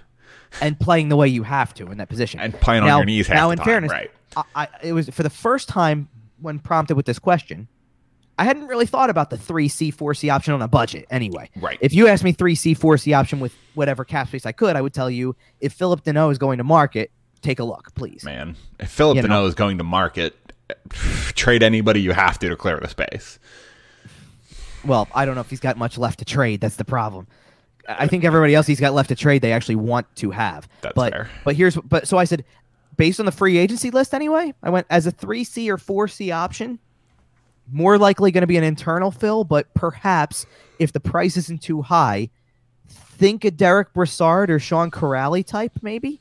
Okay. You know, that's the depth that I think you could try to utilize and still get something out of. I, I'm not saying it's going to be those two guys specifically. It's just think like that, and maybe you'll get something. Now let's get back to Voracek. I was gonna say, let's get on this trade real quick because uh, this is again, this is probably the most um, culture shock of the trade. Sure. Okay. So, Because again, we're talking about a guy me- who's worn an A and has been here yeah. for a decade. so you asked me my thoughts. If I was Yeah. great, if, if I had to put a grade on the Ryan Ellis trade, I would have probably given it an A because I I. I, thought the fit was good. I thought it took care of the biggest need, and you didn't give up that much in the, the return was things. nothing. The Right. return that, that, that Nashville needed, and then to flip one of the guys anyway, is not that big of a deal. And I think, look, to an extent, I almost look at the Ellis trade and go, I'm I'm more okay giving up Myers if it means I get like I found a taker for Nolan Patrick. Like it's almost like when you do, you know, when you find you go, how did anybody take that guy based on what you've seen? Right. Then you kind of live with the other guy who you go, well, that's a little tougher with to part positive with, but- value attached. Right. Right. So you had to do that. So I give that one an A.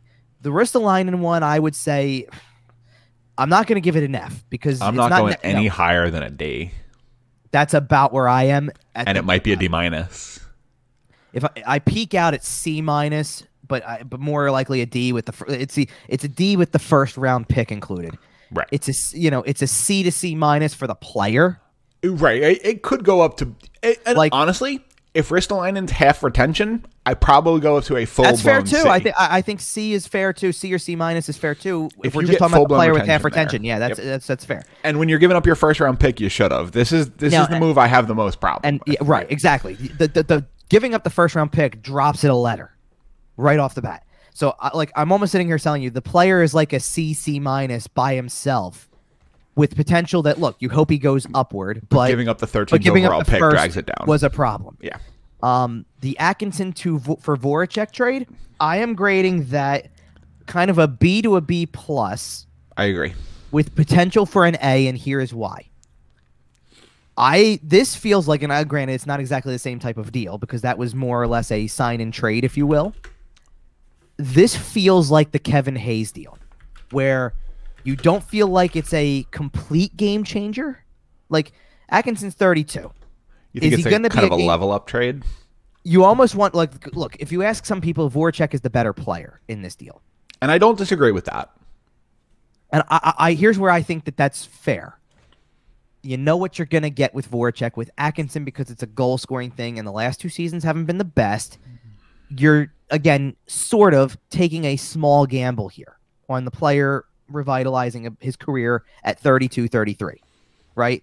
And down the line because he's got four years left on his contract. It's it's a way smaller cap hit. So that that I think that's what like I I think I sit there and I go Cam Atkinson to me as a player probably a B and then B plus for getting rid of the contract for uh, of getting rid of Voracek's contract straight up, no salary retention again. So we're back to that. The salary, the salary, the no salary retention bumps you up a little bit. In a flat cap NHL world, Right. salary the salary cap might be the most valuable asset a team has is some cap space. So and it's because I've written down in my notes. I have Atkinson certainly can reach 20 to 30 goals easily. Can he match his production or come close? 50 points would be acceptable. That's what I keep saying. I agree. Um, and look, like I said, I said feels like the Kevin Hayes deal. Not sure if the player can reach that level, but if he does, he'll be loved. yes. So like, you saw what happened with Kevin Hayes. The first year was outstanding. Everybody loves the guy, and then the second year was not so great. We now he was playing hurt for most of it, so that's fair. But I have a Like- prediction. you saw how that turned. Go ahead. Cam Atkinson's first power play shift. He's not even going to score a goal, but he's going to take four shots on the same power play, and the fans are going to love him because he actually shoots the puck. Well, that's that's the thing for me. He is a shoot first mentality. He's tenacious. He's going to rip Never- four shots on never- net, and the fans are just going to go nuts for it. Yeah, he's tenacious. Never takes a shift off, and the team needed players like this. It, it- let's just say, at the end of the day, you know what I, I came from? I- I turned around, I sat there, and I said, with the wrist, like with the Ristolainen trade. If your thing last year with the Flyers was this team is soft, this team is not physical. Cam is not going to help you here. No, no. Here's your answer: Ristolainen. Right. Big, physical. That's what his game is. It's what he's known for. That's your answer to that. If you came away from watching this team and went, this team's lazy, they're lifeless, Cam Atkinson's your answer. Because Cam Atkinson is a ball of energy. And you want to know how I know that without having really like I look, I've watched him over the years because Columbus is They've- an inter- right. is, is an interdivision team. They come to Philly a lot. It took five minutes in his press conference to see this guy is quite the personality. Right, and I was going to say, I've heard that he is a fantastic person, and I expect him to be a very, very, very popular target at the Flyers Wives Carnival, assuming that way- comes back in some capacity. And and by the way, because earlier in the offseason you had texted me and asked about the possibility of a particular defenseman who happens to be really good friends with Kevin Hayes. And I said, I don't know. Maybe if it was like a closer to a veteran minimum. no, I Yes. don't want the Flyers to sign Keith Yandle. No, no, no. I'm not saying they're going to. You're now getting in Cam Atkinson another former college teammate of Kevin Hayes. Oh, I didn't know that. Yes. Oh, we're really, oh, we're really laying the foundation for Johnny Gaudreau, aren't we? Well, okay. Broads Come text- on. Broads, Broads texted me five minutes after this trade went down and went, you know, Cam went to BC with Johnny, right? Kevin Hayes centering Johnny Gaudreau, Cam Atkinson. Come on. The the, the BC line. First line, Couturier, Giroux, Farabee. Right, assuming, and I'm talking. oh, Okay, listen, not this, not this upcoming season. Twelve months from now. Twelve months from now. Top line, Couturier centering Giroux and Farabee. Second line, Hayes centering Gaudreau and Atkinson. Well, let's not jump too far ahead. This offseason. Oh, uh, come on! Have you met me? I'm all about jumping too far. Ahead. I know. I also want to get to the end of the show and still touch on We the rest do of the have stuff. to do that. and still touch on the rest of the stuff we have. Um, I will say that. So, but basically, where I'm going at with this with Atkinson is, is you for sure and certain. The one thing that people are going to love about him here is you're never going to question if you get an honest effort. You're Good. always going to get an honest effort. Man, but I can't wait till the first article that's written about the fact that he's 5'8", 165 pounds soaking wet. Guess what? Watch some highlights. He finds those areas. I know. He's I a- know that. Oh, I certainly know this that. this guy I I I, I, I almost like maybe it's the, maybe it's the draft weekend thing for me. I almost said this kid. He's not a kid. He's older than I am Ah, for crying out loud. No, I, like no, I feel like I can say that He plays a game for a living. No, He's a kid. Listen, no, I I look, I've I've said this about a lot of people because these you know like let's like Joel Farabee. I sit there and talk about him and go, this kid's good. Joel Farabee is not even what barely drinking age. Joel Farabee was born after 2000. Right, exactly. So that's the point. I'm a lot. I am entitled to call Joel Farabee kid because, like, or describe him as a kid because he is significantly younger than I. I know you already put a title on this podcast. We might have to call it Boomer Cast. We sound like old men right now. Nah, it's okay. I think I think the title's fine because we'll get into it in a second. But No, you're right. This is. I'm not worried about his size, to be honest. You know why? Because he's fast. He's tenacious. He's he gives you an honest effort, and and I think you're well, and I think you're partially right. The amount that he's going to shoot the puck is going to Win him a lot of fans. is going. Well, let's. Put, I mean, Jake Voracek, in all sincerity, by the way, it wasn't meant to be a jab. In all sincerity, joked about how he had a love-hate relationship with the fans. They're passionate. They want to win.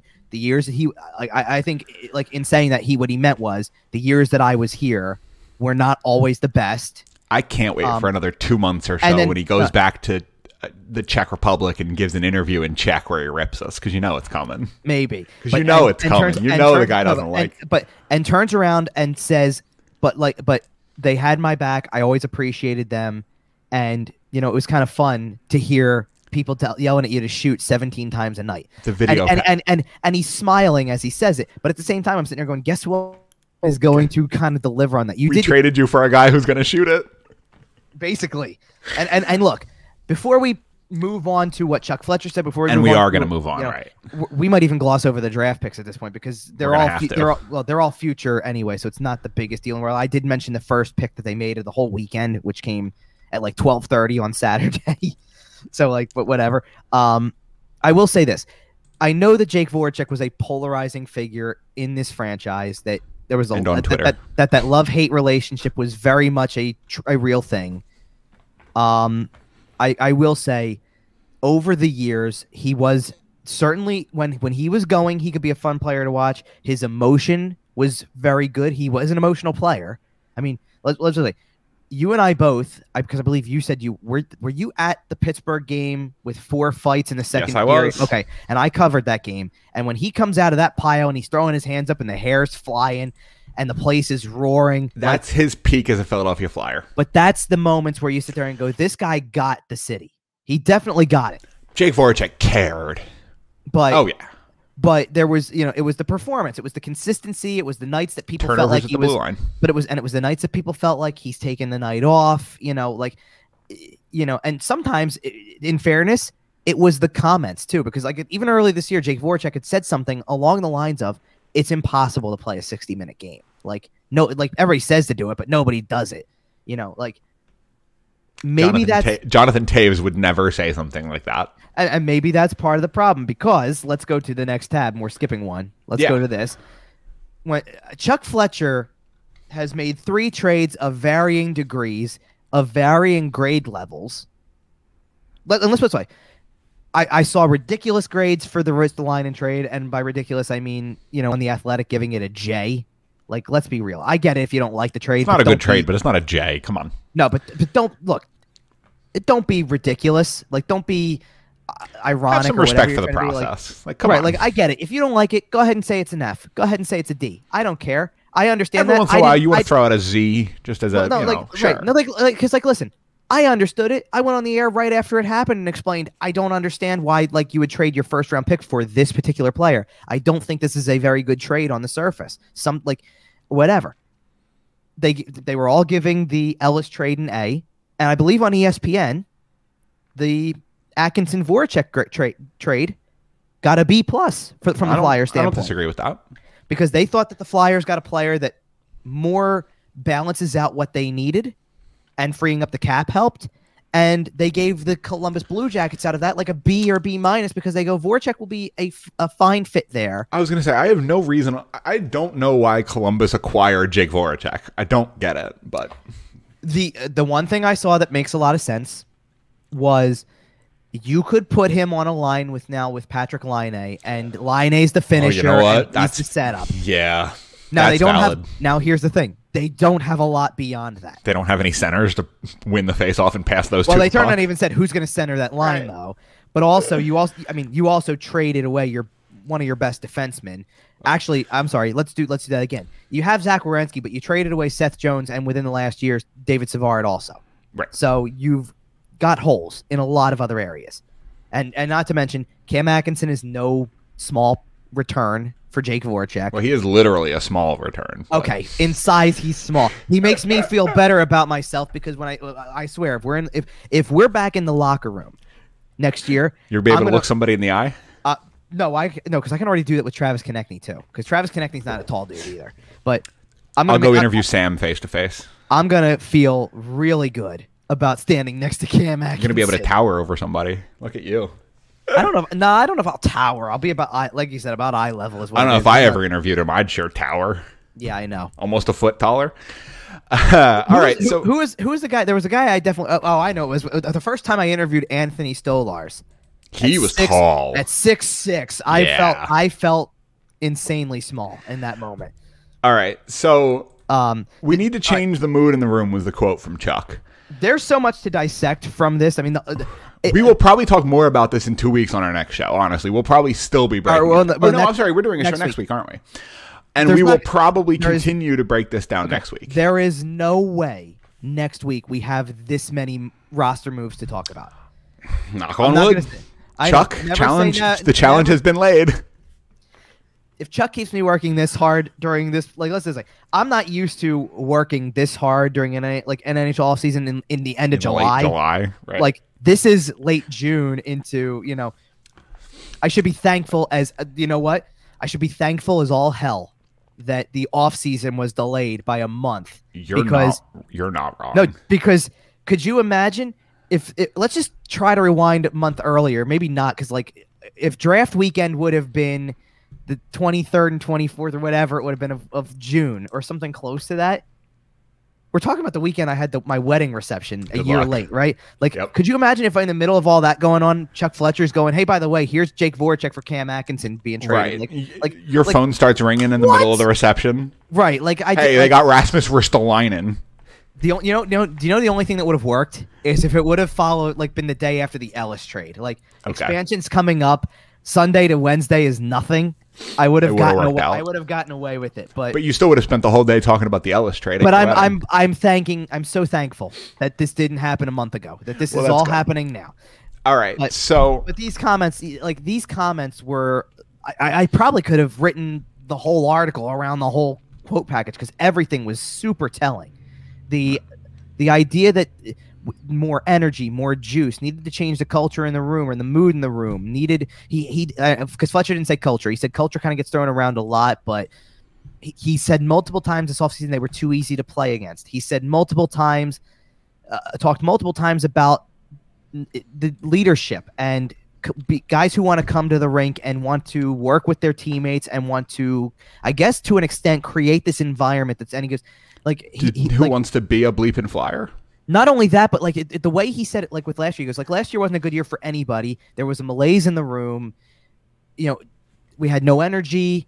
Nobody smiled. Like It was a tough year it- for a lot and of teams, and, and we've I- talked about it before. But I think the Flyers being a bit of a younger team, it hit them hard.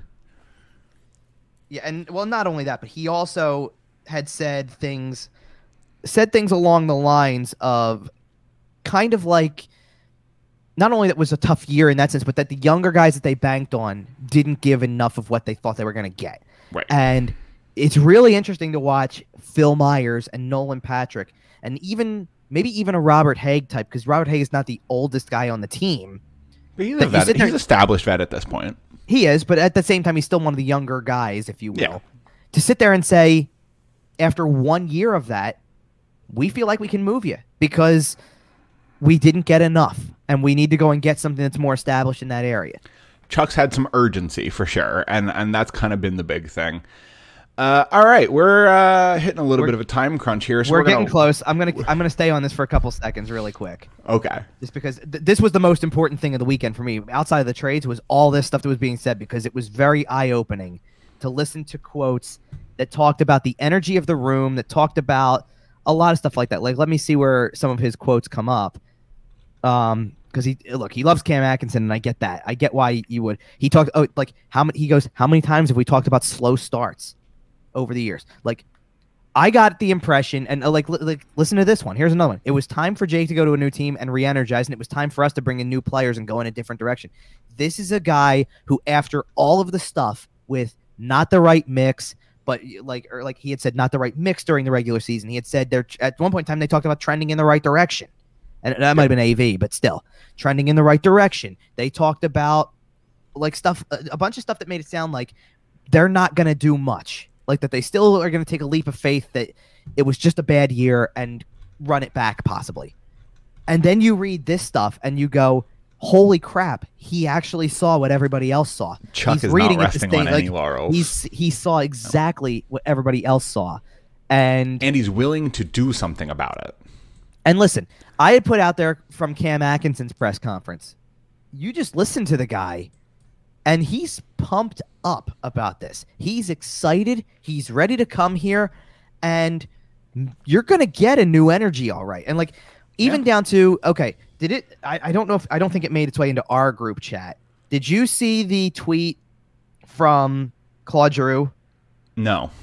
Okay, so so apparently one of the questions at Chuck Fletcher's press conference had to do with because he mentioned about changing the leadership group up a little bit and that there were things that they could do to get more experience and all stuff like that. And Claude Giroux, uh, the, the question came up about the about this leadership group. Is Claude Giroux's role going to change? Somebody actually asked the question. And Fletcher, without thinking about anything, goes, No, he's our captain which Sam Carchidi tweeted out. Fletcher says Giroux still the captain, and Giroux followed it up by tweeting at him, "Nice scoop, Sam. Good one," or something like that. Right? I'm looking like, at it right now. It says, "Good scoop, Sam. Good scoop."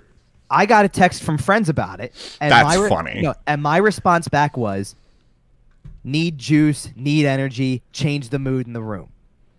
Like this is a guy who now is kind of going, "I see what's going on. I like what's going on it's going to be tough because Voracek's gone and Gostisbehere's gone, and he, how many years has go uh, has Giroux played with these guys? It's well, maybe, been a lot. But maybe, maybe Claude has decided. Change. Maybe Claude has decided now that Jake's not here, he's the one who has to be grumpy with the media. Oh, that would be funny. I don't know. All right, we're uh, we're running up a against a little bit of a time wall here. The good news is we will be back next week. Yeah. We that will be question is on week. the table for next week's show. This will be discussed Free next week. Right. Free agency opens on Wednesday, and yep. as we've said, they need a backup goalie. They might try to get a defenseman or a forward that's been mentioned, yep. but they might stick to internally. So they so it's kind of like what Fletcher had said on Friday, right? We're not going to make it. I don't see us making a trade in whatever time LOL. or thing. Right. And then the next morning, it's like, uh, yeah, just kidding. Right. Just kidding. We traded away Jake so, Voracek one so, for one. So he says that they might go internal, but they might not because you know, but they could try to look to sign somebody. They could keep Ex- trading. I don't think they've got another trade, but I'm not holding anything past Chuck Fletcher because Chuck Fletcher's At this been point? Chuck Fletcher's been a man of action this entire week. I he mean, certainly has. Quite, quite frankly, I I would question if Chuck Fletcher has slept this week, and he admitted he hasn't gotten much sleep, and that Cam Atkinson was his like third cup of coffee. We the energy level about, on the phone call with Cam Atkinson woke him up a little more. We talked about all these moves, and we didn't even touch on the draft. I am going to rattle off the names of the guys that the Flyers drafted real quick. Uh, oh, second good, round. Good, good luck. Uh, second round, Samu Tuomaala. I'm assuming that's how that's pronounced. If I pronounce any of these wrong, yep, I apologize. Samu Tuomaala. Uh, third round, Alexei Kolosov. That's a nice, easy Russian name. There you go. Yep. Or I'm sorry, Belarusian. No, he's from. Yes. Oh, sorry, yeah, he is Russian. I apologize. He plays in Belarus, but plays in Russian. Belarus. Yes. Brian Zanetti, good Irish kid. That's a joke. because uh, he's from Lugano, Switzerland. Okay, the, the, next couple aren't as bad, by the way, because right. now you're coming up to what? Is Ty Murchison Ty from Murchison, Corona, California, and then you're going to follow it up with Ethan Sampson. Ethan Sampson from British and, Columbia, and Owen McLaughlin, who, by the way, as a there's a good Irish kid. Come on now, give me yeah. Owen McLaughlin.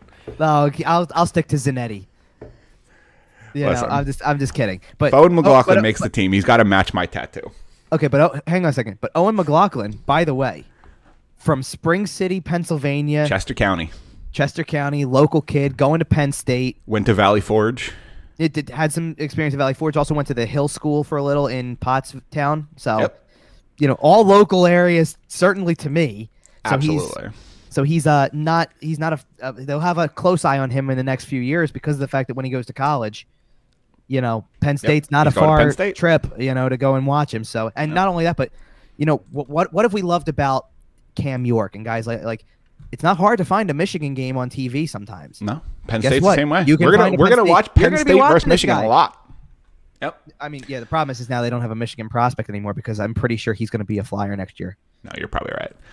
All right. Which, well, which, but, which, which, by the way, to, for Ryan Ellis to not take that number because that was the easy that was the easy thing to do was just say I can't have four, I'll take 44. Right.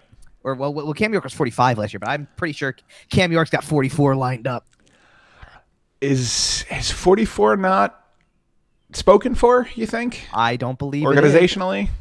I mean, the last the, the, last guy I remember wearing it was like Nate Thompson and Chris Stewart. Oh, so you're right. I forgot. I forgot so that people did wear it after Kimmo team. Oh yeah, it's been used. okay. So so I it's available. I think I think it I think it belongs to a defenseman who plays kind of a relatively similar game. Uh, Fair the, enough. Ryan Ellis is 94. Is going to be interesting. That nobody's ever worn that number in history. I was going to mention Flyer- that when we talked history. about. I was going to mention that when we talked about Jake real quick. It- Jake was the first player I remember having like a super high number, like on purpose. And yet he wasn't the first player in Flyers history to wear 93 Weird.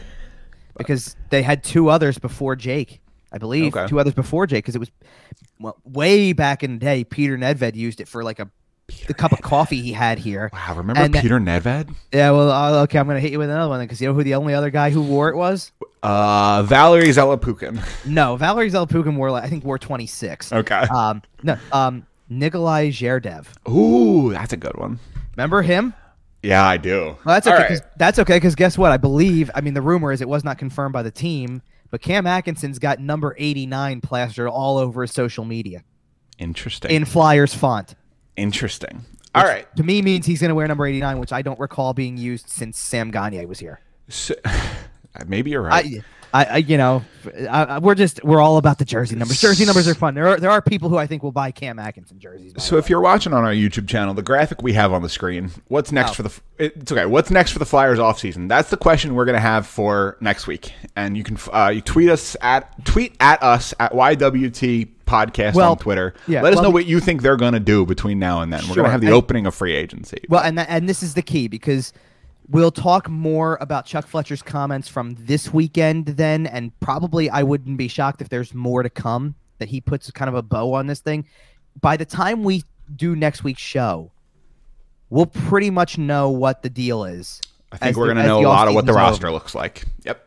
and that would allow him to speak on what he's done collectively. He already kind of has to an extent, but like, there's he didn't the one look. This is the last quote I'll leave us with from Fletcher's press conference because he said the exciting thing is is that he doesn't think they're necessarily done. He thinks they Yep. still can make Im- improvements and upgrades and make other moves. So that's what's interesting is that you you look at this and go four trades this week, three new players acquired, a lot of money brought in with a lot of money going out, and he still doesn't think they're done. And he has a little bit of cap space to work with. I mean, they're not. and listen, they're not done. By next week, they're going to have another goaltender behind Carter Hart. There's no question. But but what It's- happens? If, but what happens if we're talking about another center or another defenseman on top of it? Like it's possible. It's Chuck's world. We're just living in it. And Yeah, no, uh, I'm really living in it. Yep. Because every time I blink, I mean, as soon as the Voracek trade happened and Friedman's tweak came up, I shared it and went on. I retweeted it on Twitter and went, "Oh boy, here we go again." Yep. And uh, because like I totally didn't see it coming again. He said no more trades. What happened? What Yep. happened, Chuck? You said It no feels more like everything's trades, and then come I out- to, and then I feels like everything's coming again. out of the blue. Yep. uh, well, listen. Chuck will keep. Hopefully, Chuck keeps you busy this week, and next week we oh, have just Chuck's as keep- much to Chuck's talk keeping me on my toes all week. It's for sure. Until then, make sure to follow us on Twitter at YWT Podcast for all the latest as it breaks. Follow Kevin at Kevin underscore Durso. make sure you can find the you can find the show anywhere you can find your podcast, including YouTube and also SportsTalkPhilly.com. We love them for supporting us here. And uh, man, Kevin's been busy over there. Make sure you go check out the website. Click on all the articles. I'm really lucky. I've got a vacation coming up the second weekend of August, or, the, or the first, or the first full weekend, however you want to look at it. But I- Hopefully, but hopefully Chuck's done by then. he better be. All right. I'll, ha- I'll have my stuff with me just in case. But We'll we'll see you guys next week. Another full show for you next week. See you later.